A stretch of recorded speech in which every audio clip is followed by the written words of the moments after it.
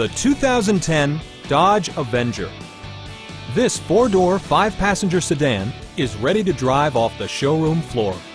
It features a front-wheel drive platform, an automatic transmission, and a 2.4-liter four-cylinder engine. Enjoy your favorite music via the stereo system, which includes a CD player with AM-FM radio and four well-positioned speakers.